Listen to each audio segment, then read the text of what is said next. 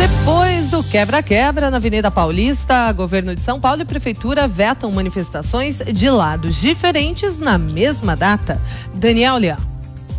O governo de São Paulo proibirá manifestações antagônicas no mesmo dia.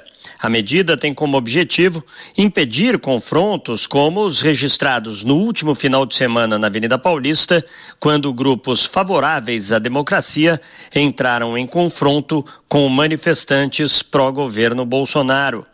O governador João Dória apontou que a intervenção da polícia no episódio evitou danos gravíssimos e que já houve o entendimento com a prefeitura para coibir protestos na mesma data e local. Todos têm direito a se manifestar, mas ninguém tem direito a agredir.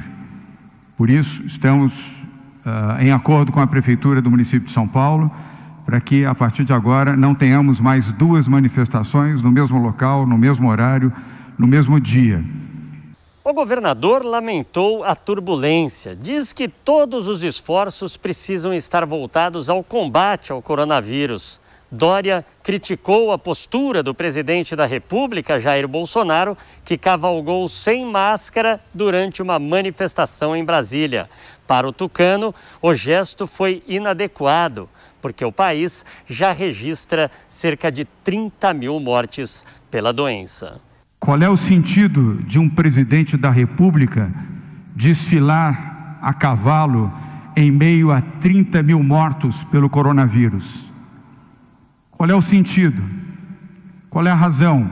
O presidente passeia a cavalo enquanto a pandemia galopa. Bolsonaro passeia a cavalo e a crise econômica segue sem rédeas. O Tucano fez um apelo a Bolsonaro para acabar com hostilidades, destacando que o presidente não governa apenas para bolsonaristas e aqueles que o apoiam, mas sim para todos os brasileiros.